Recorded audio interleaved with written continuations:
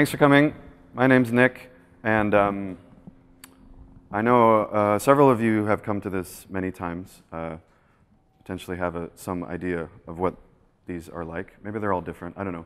I, am here because uh, six months ago I came to see uh, Laura Gibson do one of these talks.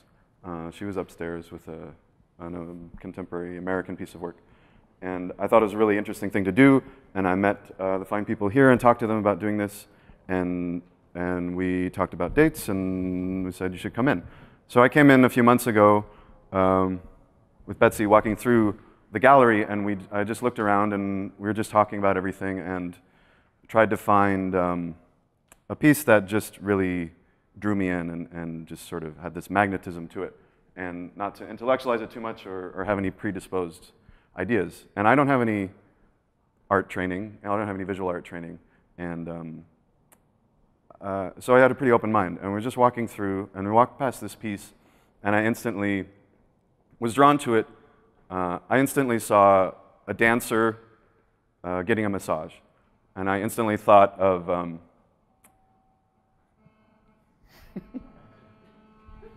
Anybody have a cell phone?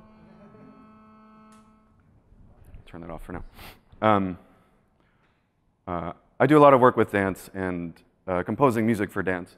And so I'm used to this scene, I've seen it a lot, where on the stage, the, the dance is presented as this uh, effortless, porcelain, uh, beautiful thing. And as soon as the dancer gets off stage, they're heaving, they're out of breath, they're, they're throwing up, and it's um, this constant battle to uh, put this beauty on stage. And, and there's so much work that goes into it to keeping the, the dancers' bodies maintained. It's, a, it's similar to professional athletes. Um, in like the second they step off the field or the court, there's a team of people pounding on them, trying to get their bodies into shape. Um, and so I instantly responded to this. And uh, we walked along and, and went through, uh, you know, we're in the Impressionist wing. Um, and so I, I, generally felt like uh, a comradeship with Impressionists, or felt like it was something that I, I generally uh, was drawn to. I think most people are. Uh, we, we kept walking uh, more modern pieces, and I saw some other pieces that I thought of, but I kept thinking back to this one. And I was like, this is good, but uh, I just keep thinking of this sculpture. And it's, it's funny for several reasons. Um, I've never particularly been that drawn to sculpture at all. Um, I, I, thought I was going to find a painting. And um, this piece was created by Edgar Degas, and he was primarily a painter. And not, uh, not known for his sculptures.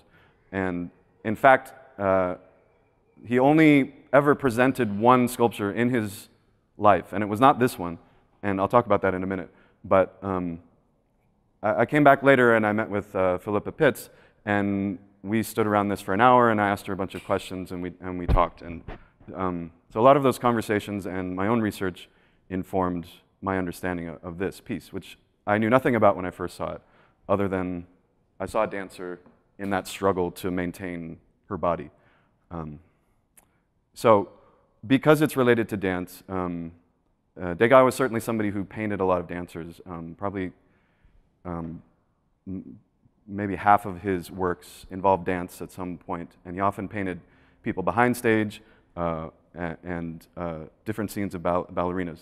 Um, so I wanted to start off by, I wrote this piece um, that is, uh, I guess it'll explain itself, but it's, um, it's called How to Enjoy Dance.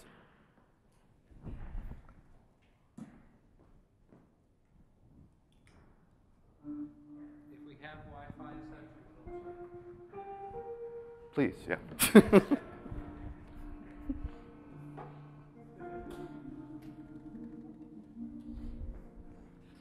I brought this little guy in because they were concerned about uh, when I said I was bringing an electric guitar, that it was going to be really loud.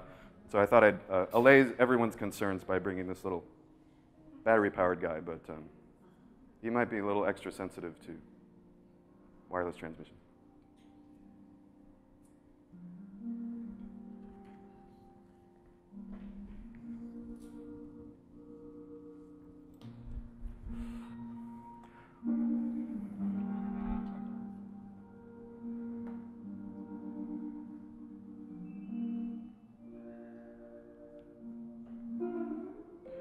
I often perform music that accompanies dance. And often I have friends come to the performances, friends who have never in their lives thought to go out and see dance. They come to support me and they sometimes enjoy the experience, I think. But often they have this bewildered look in their eyes. They preference, preface their comments to me with, Well, I don't know much about dance, or I'm not sure I really got it. People are always saying that about dance, and it's frustrating to hear. I know that it's because most people have grown up without going to any dance other than the Nutcracker and have not developed the tools to understand it. You forget how you've learned to understand film, for example, by seeing so many in your life, and how each one has subtly giving you a guidebook to how movies are structured and that you use these tools when you watch every film.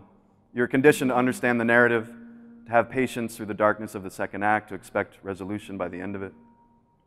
But with dance, most people feel like they have been thrown into the pool without knowing how to doggy paddle. It's terrifying. It makes people panic.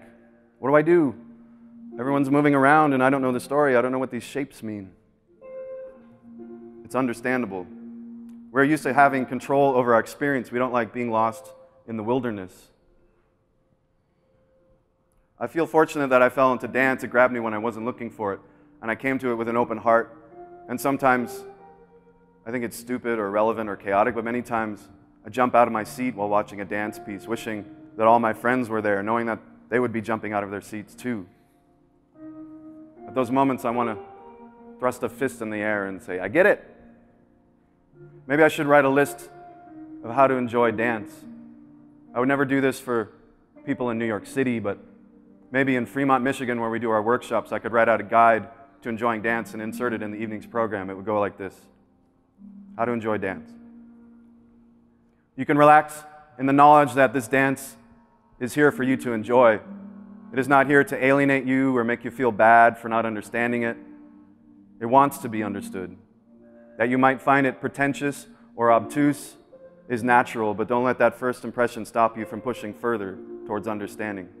Find one beautiful thing and focus on that and enjoy it. This can't be hard. There's so much happening to enjoy. Pick one thing to dig on and just dig on it for as long as you like. Here are some possible things to enjoy. The violin arpeggios, the fall of the fabric of the dancer's skirt when she juts her hip out, the sound of feet hitting the floor during the pauses in the music, the way a dancer walks across the stage in an unchoreographed moment, and how dancers don't walk like anyone else you know, the way a dancer catches its breath after an active moment. The coordinated effort of the musicians playing in concert. Just enjoy for a while the fact that adult humans from different backgrounds can arrange to get together at the same time and find the common language of music and play together on a stage. Think about how it just works, even in a discordant Stravinsky piece. Find the cutest dancer, the one you'd approach in a bar, the one you'd think about after she left, wishing you had said something funnier, wishing you had gotten her name, follow her as she moves about the stage. Get jealous when a man gets to lift her up. Stare at the eyes of the most confident dancer and picture her life that led up to this moment the pre dawn drives with mom to dance class, the discolored feet, the shaving of bunions. Think of how much experience goes into every movement and how easy their movements look. How you feel like you could get up there and do an arabesque. But really, at your best, maybe you could get to 60% of the beauty of that shape, and how that last 40% took the professional dancer 20 years and $80,000 to master. And isn't it nice that somebody went to all that trouble to refine such a craft? Imagine yourself hovering above the stage and the dancer's movements are tracing a sort of architecture. After all, architecture is a codified shape, easing and suggesting human movement. What kind of structure would be built around such movements as those of the dancers on this stage? What designs are created by the paths they trace? Think about how these repeated movements build up their own architecture larger than the body, you can see how the structure of a lobby in the building creates a certain flow of movement for people. Dance is an impermanent structure. We all impermanent structures, so we should be able to appreciate this. Focus on the atmosphere the light makes, the way it carves out the big empty stage into a manageable space, into a forest, into a palace, into a prison, and how we all just believe that we are in that place. How does the dance correlate to music? It's not as simple as in a Texas two step or a swing dance. Those are partner dances meant to be common language that can be shared by two strangers coming together.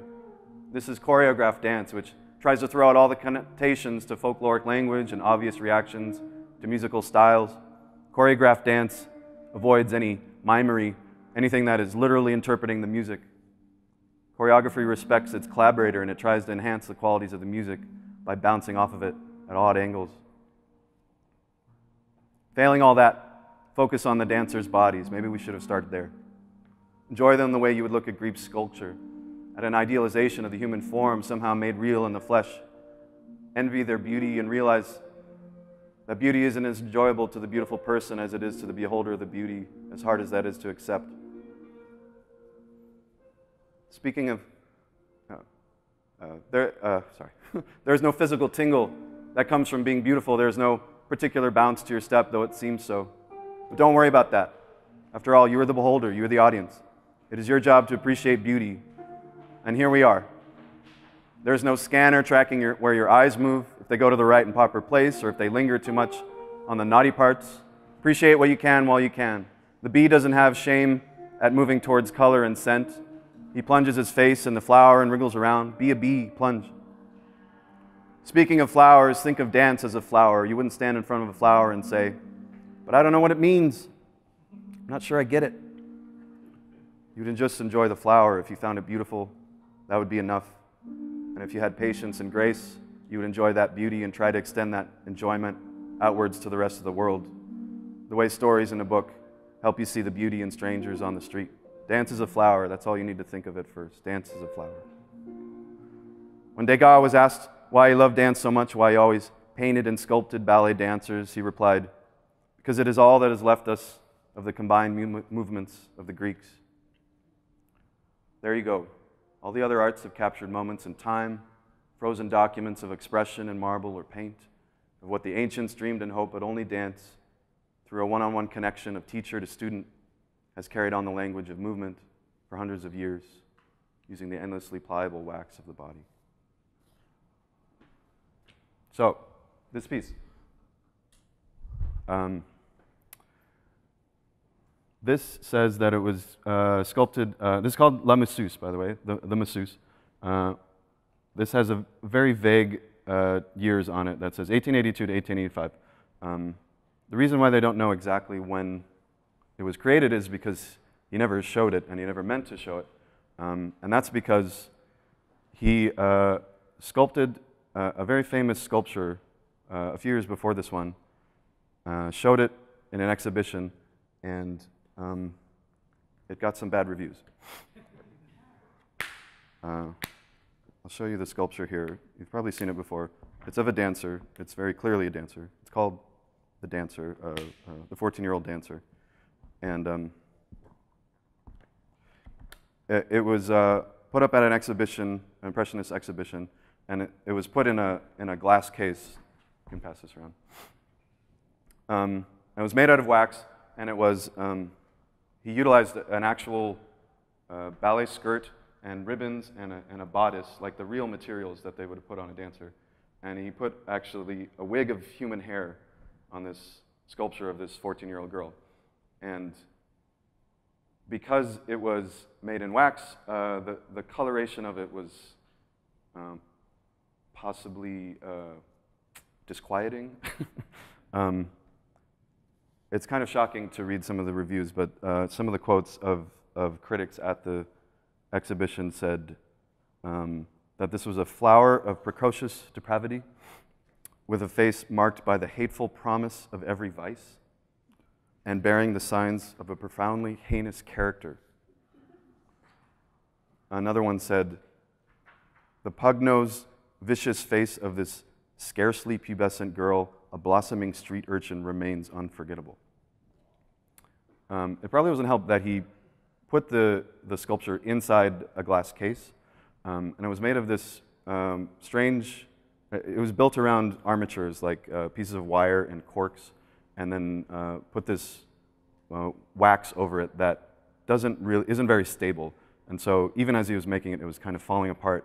And then later on, uh, when he just had it in the studio, it just fell apart. And then they kind of put it together and, and cast bronze statues over it. Anyway, he, he put this uh, piece up and it was rejected, and that was the last time he exhibited any sculpture.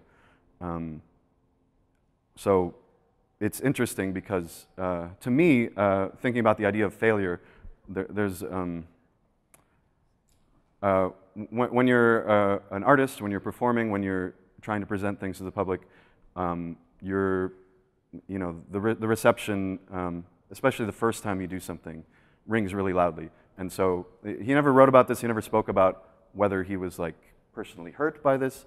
But when I hear that somebody sculpted something, it didn't go well, and then he continued to sculpt and made dozens of sculptures in his life, but never showed any of them, um, to me, I picture him being a little uh, hurt. um, uh, so we can put our own impressions on how he felt about that. I kind of picture him in his studio sculpting and just saying, well, fine then, I'll just keep these to myself, you know? But, so this piece came after that, and um, uh, I, I, didn't realize it at first, but so this was never meant to be, this was never meant to be seen by people.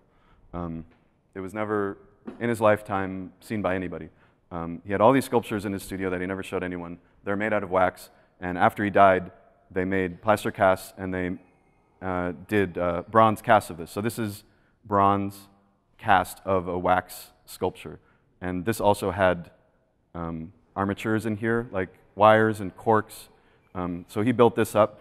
This um, sort of chaise lounge here is um, actually built from like wood blocks. And um, the, the, uh, when I was sitting here talking to um, Philippa, uh, we talked for an hour, and then at the very end of it, I asked her, "Do you, do you like this?" Um, and she was, she was like, "I hadn't thought of that."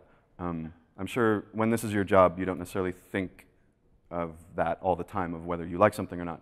Um, and she made a really interesting comment. She said she was first turned off by the hostility of it. She felt like the, the masseuse was violent, like it was hurting this woman. And um, she was turned off by that.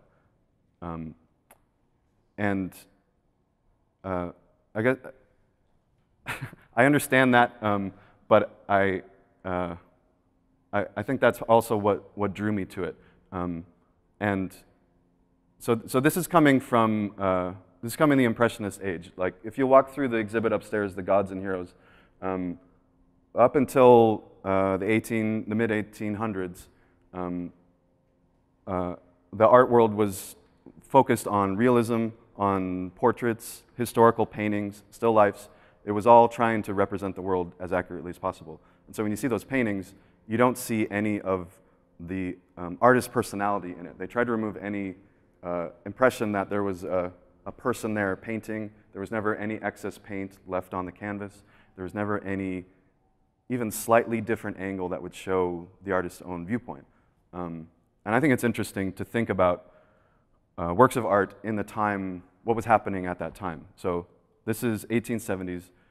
Um, uh, photography is a new thing. The whole industrial revolution is happening. And in Paris, particularly, um, they were moving from the sort of agrarian life of, of, of, villages growing up to be large villages. And there was a movement by uh, Napoleon III to turn it into what we think of as a modern city of, of sort of plowing through some neighborhoods and building these big boulevards, the Champs Elysees, so that you could more easily have it be a, a livable modern city and not just this ever expanding village where everything just kind of twists and turns. Um, and this was not necessarily uh, what everybody wanted. I mean, like anything that changes, people were bemoaning the fact that now, um, you know, it's not a village anymore. It's not, uh, they thought that uh, there was this um, uh, separation between them and their neighbors and that everybody was becoming isolated. And so when you look at all these works, these are all the Impressionist works here. Um, usually when you look at them, you think they're very idyllic pastoral scenes, but often there is a, a little twist to them that is, is a comment on the times. And this painting right here, this Renoir, is actually, it looks like just a scenic little dock scene, but this place is actually inside of a city. It's, it's like a modern park or a modern uh, recreational spot inside of a city, and at the very edge of it, you can see signs of uh, industry of, of, buildings at the edge. And so it's not obvious uh, when you look at it, but this is actually a comment on um, the changing, uh, the, the loss of the agrarian pastoral lifestyle and saying how now we are embracing it, now we are looking to get it back, but it's, it's kind of ruined because it, there's all this encroaching industry. Um, and obviously, the, the hallmark of Impressionism is this, this color fleck, this move away from realism, which I don't think is any coincidence that it's um, coming right as photography is becoming more accessible because now you have a way to document something with a machine uh, as real as, as you can, um, more real than you could ever get with a paintbrush. And so it sort of takes away the job of the painter as far as like the strict documentarian, uh, making portraits, documenting historical scenes. If you can capture that in a photograph, um, it's not as necessary.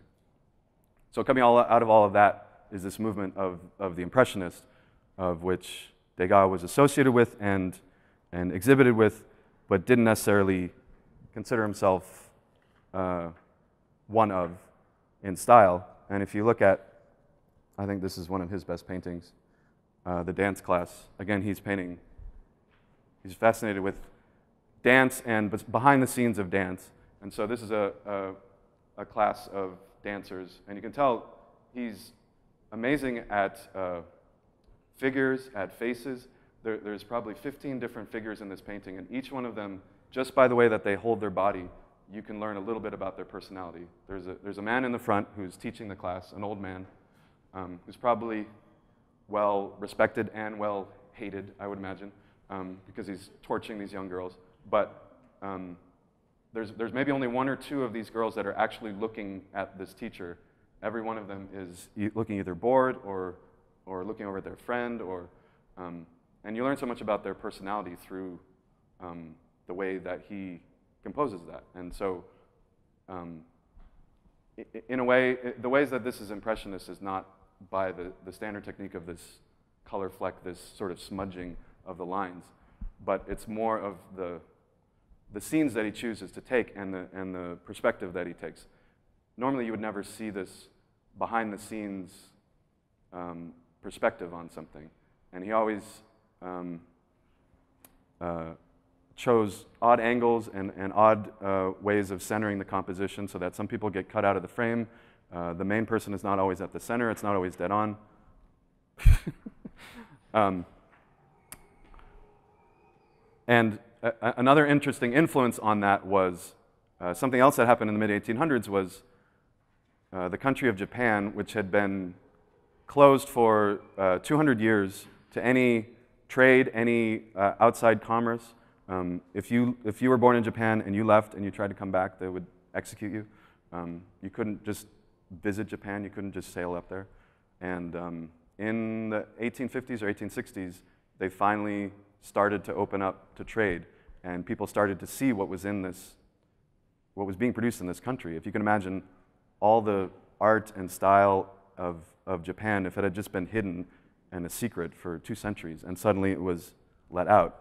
Um, and and that the influence on the Impressionists was these um, was the, the, the iconic Japanese style of, of printmaking, and, and which always had this almost comic book quality to the way that they uh, composed things and had odd angles and, and um, bright colors and sort of this uh, uh, not going for realism, like almost caricature type quality. And it was a big influence on the Impressionists, which I think is really interesting. Um, so, all out of all of that um, uh, comes this piece, um, which is now Impressionism, but as a sculpture. And so you can tell if you look at um, that sculpture down there, for example. Actually, that came later than this, but um, it's, it's, it's more of a, in the classical mode of here's a woman uh, standing in a classical way and, and it's smooth and appealing, but you don't see any of the, the touch of the artist in it. Whereas this, um, I think it's fascinating to get really close to this and look at it. Um, it's depicting this violent scene of this massage, which is like hands in flesh, pushing, working, and you can see that same violent motion in the way that he sculpted this. You can see sometimes like his thumb or on this, on this side of the, the chair, you can see the, the way that he had to have pushed this clay down um, to get this work. And I think it's just a fascinating um, symbiosis between the the, scene that it's depicting and the style that you had to use to create it um, are both a very similar, like mushing and melding and kind of this violent action. Um, uh, so, um, to talk a little bit more about failure, I, uh, I'm a musician and I've been touring around the country for a while. And I wrote this book recently. It's called Get It While You Can. And it came out of a series of, of failures of um, not achieving what I wanted to achieve. Um, with music, it's very clear if you play to a room full of people and, or you play to a half room full of people, um, your, your success uh, is, is right in front of you. Um, and, um, you know, in, in a similar way to the way that you exhibit paintings and you see the reaction right away. And maybe it's something that you've been working on for a year. Um, maybe it's too late to change it. Maybe you don't want to change it, but your, um, your feedback is coming right there. No pun intended. Um, so I'm just going to read a, a couple pages from this book um, that starts off talking about this failure. Thanks.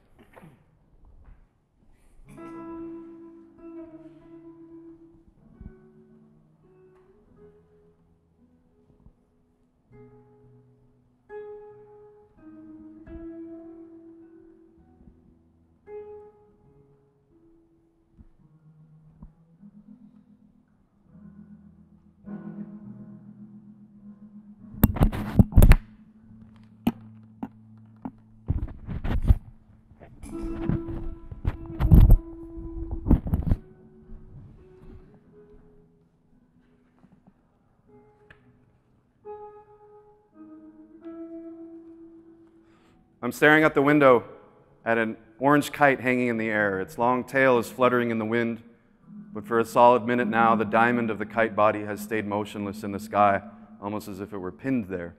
From my angle, I can't see the person holding the kite, and I'm much too far away to see the string. Just now, the unseen person has decided to let out a, a little more line. At first, the kite shudders like a sick dog trying to back out of one of those horrible neck cones. And then it accepts its new directive and rises out of view. To sum up, I'm looking out the window at a person flying a kite, but I can't see the person or the kite or the string. I see nothing. For a long time now, I thought music was the thing that would ground me. I still believe that in some ways, but what I have been caught up in lately is this. I feel that I'm good at writing a song and being able to play guitar at all the various skills that go into making a record, and yet for many years I've had the, the strong feeling that I've failed at music. Worse yet, I feel that since I've devoted my life to music, I've failed at life. I came to the Oregon coast because I want to learn how to sail. A young man named Daniel is my teacher. He's working at an Irish pub in town while helping his friend prepare his 29 foot fiberglass full keel sailboat for a long sea voyage. In the spring, the two of them are going to try to sail to Hawaii. This morning, he left me with a very old copy of Rilke's letter to a young poet while he went to work. The covers are torn off and some pages are missing. I lingered on this passage. But in every sickness, there are many days when the doctor can do nothing but wait. And that is what you, insofar as you are your own doctor, must now do more than anything else. And this perhaps all the dragons in our lives are princesses who are only waiting to see us act just once with beauty and courage. Perhaps everything that frightens us is, in its deepest essence, something helpless that wants our love.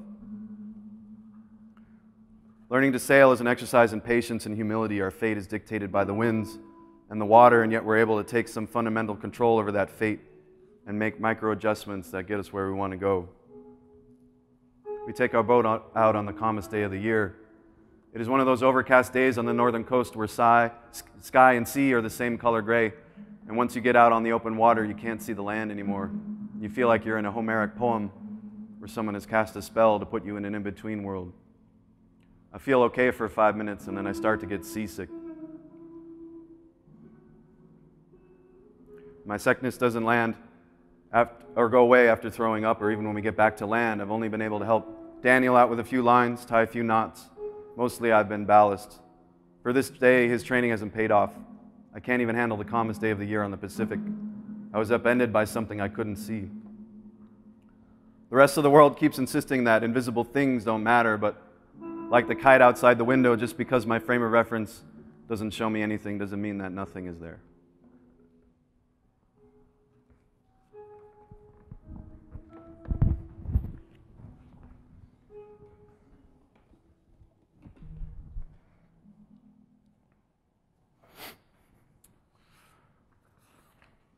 Um, uh, so, um, I, I, think uh, Degas is a, is a, fascinating figure because um, he had all these, uh, you know, different skills, like to, to be able to do sculpture and to do stuff that now is seen as um, some of the first best examples of, of modern sculpture. Uh, there's another one of my favorite paintings of his. It's another dance scene. It's something on the stage, but it's also the whole upper corner of it is kind of just this blob of unfinished work, and it's, it's a really odd composition. The, the dancer is off center, and it comes at you from a strange angle. Um, I was. Uh, uh, so I, I, worked on this, uh, researched this for a while, thinking that this was a dancer, and then I bought this book a few days ago, and I read.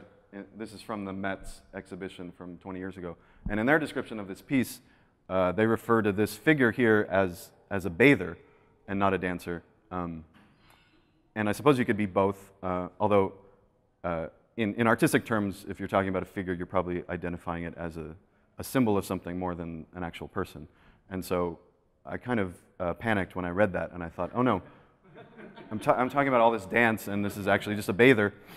And if you look at her body, um, it's sort of hard to see because she melds with this chair, but um, she might not have the body of a dancer. I mean, uh, at least in, in, in modern ballet terms, um, she doesn't look light on her feet. I don't know. but, um, and, and this chair, uh, this chair is probably not something you're going to find just backstage at, a, at, a, at an opera house. Um, it might be something more where a wealthier person would check into uh, to a bathhouse and, and receive this uh, massage work. Um, I think ultimately it doesn't necessarily matter um, whether it's a dancer. I mean, I mean, clearly he was, uh, Degas was fascinated with dancers and he was fascinated with showing the, uh, the, the work that it took to uh, create art. Um, I mean, all the Impressionists were in, in their very function of showing all the brush marks, all the, the thumbprints and everything. Um, they were displaying to you what it took to make this art and the pain that it took. And so, um, whether or not it's a dancer, perhaps it doesn't matter. Um, and then uh, I was thinking about this piece again two days ago, and I, I went to get this, coincidentally, went to get this massage, um, which I, I, won't say much about because it's like telling somebody about your dream. It's not that interesting, but um, it, it, was a particularly deep tissue massage, and it's actually called, um, what is it called? Somato emotional release. And so um, the idea that you have pain that you experience in your life and you put it in a little pocket, often in this area, and you keep it there and then you protect it.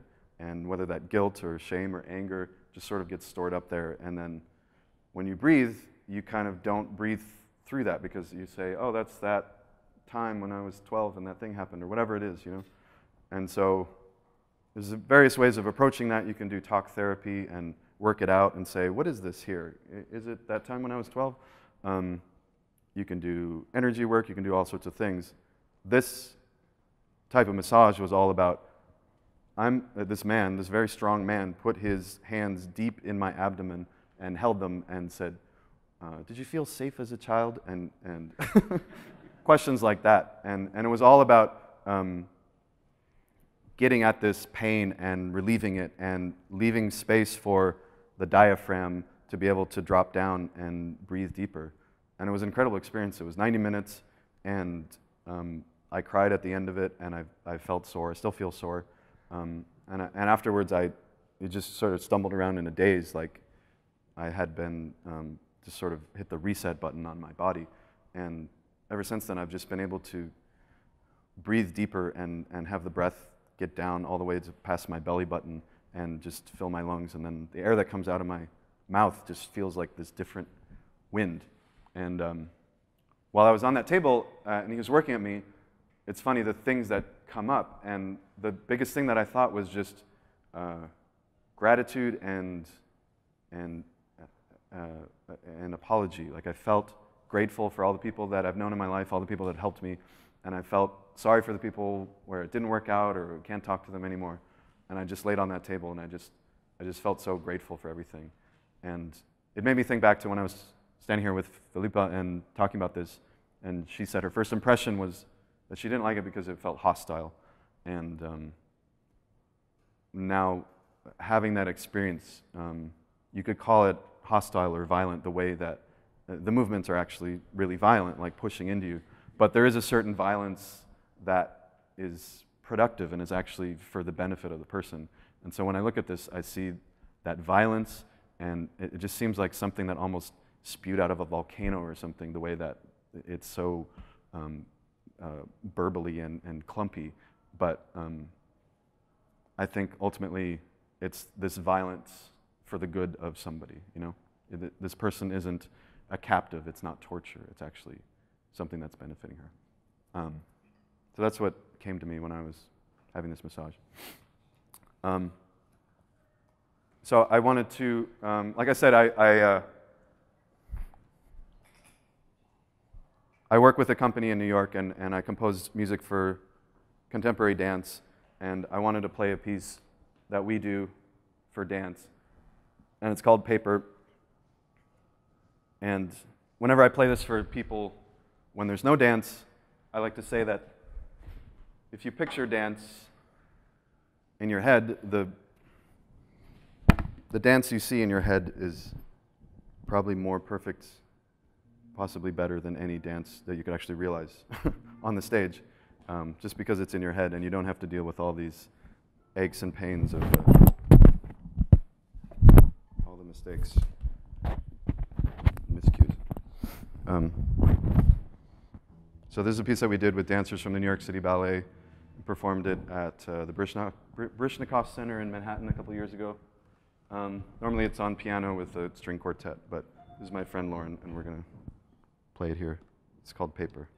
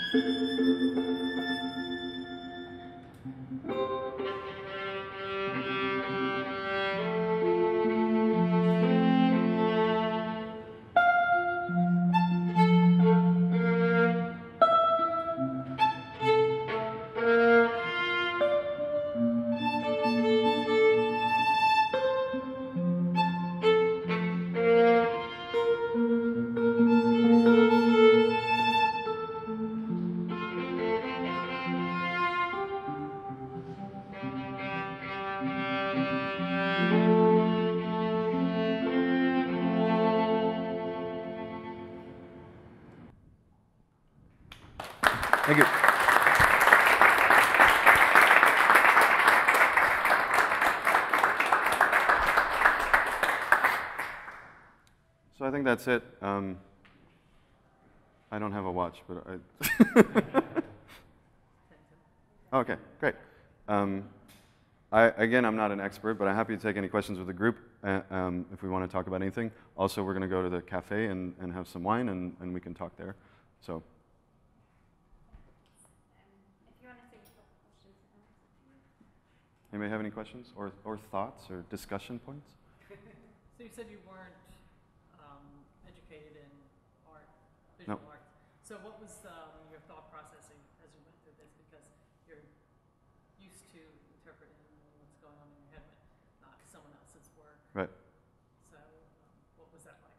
Thought process in choosing it, or in, in And just the, once you chose the piece, Right.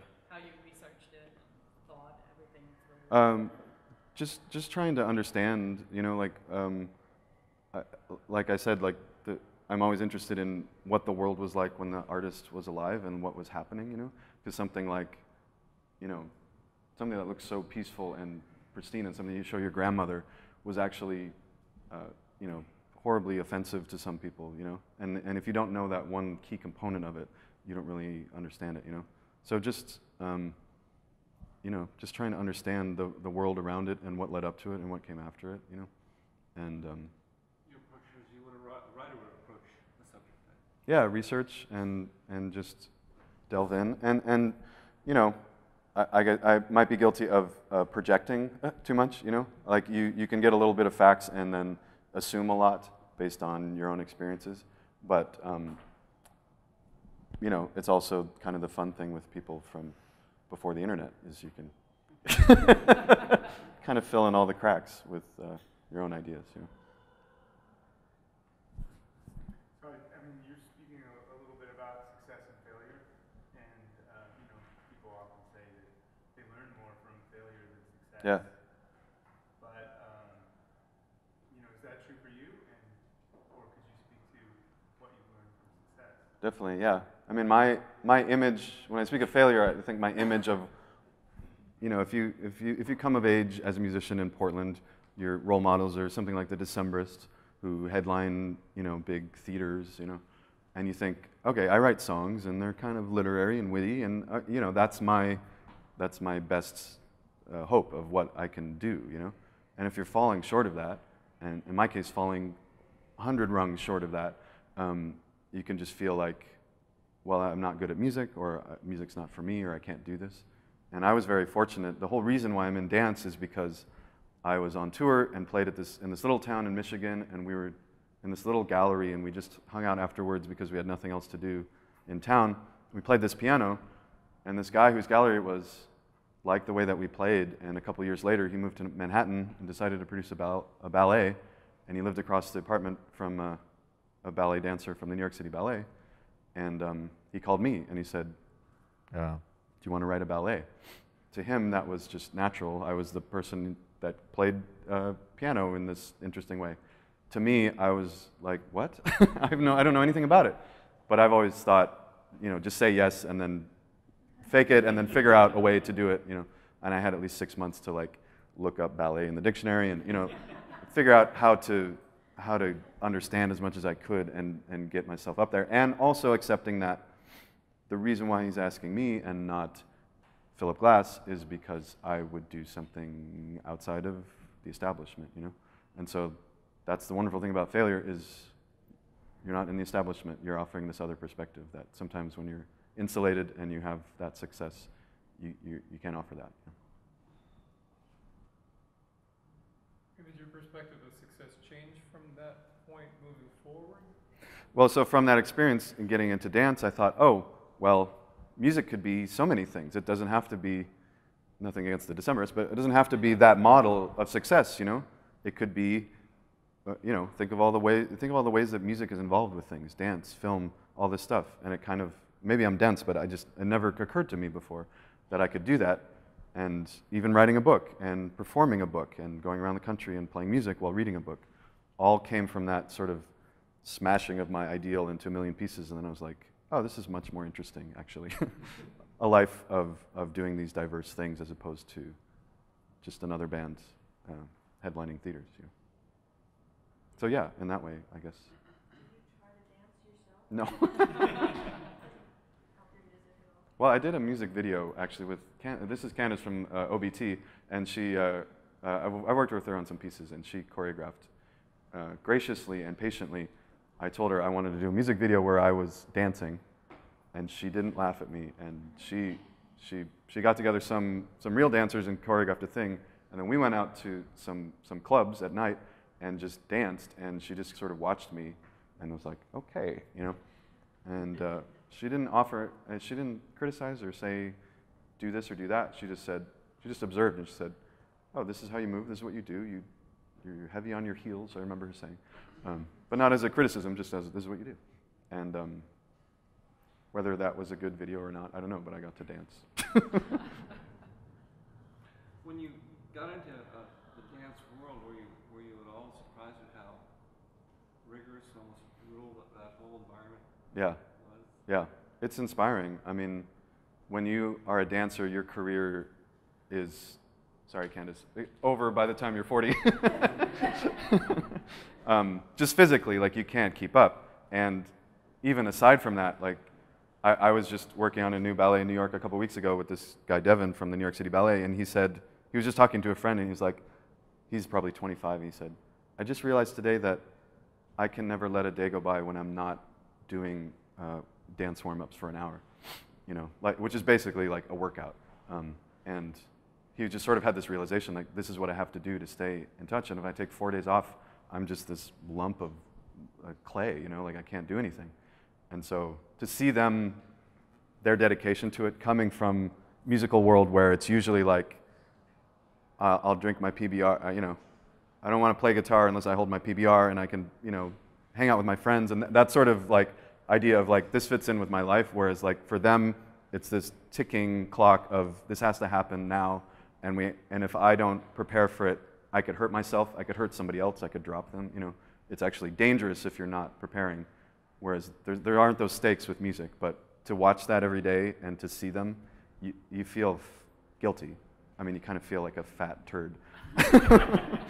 but also you think like, how can I be more disciplined? How can I incorporate that? You know, it doesn't. It's not life or death with me, but um, I can at least, you know, it's definitely inspiring. It's frightening. Yeah, and uh, also that's their career. I mean, if they twist an ankle or something, like, yeah. Well, thanks everyone for coming, uh, and thank you to uh, Betsy and the Felipa for uh, helping with this, and, and for Portland Art Museum for putting stuff like this on. I think this is really a wonderful thing to do, and I learned a lot, and I appreciated this and all of this more, and um, so thanks for coming. And a huge thanks to Yeah. you for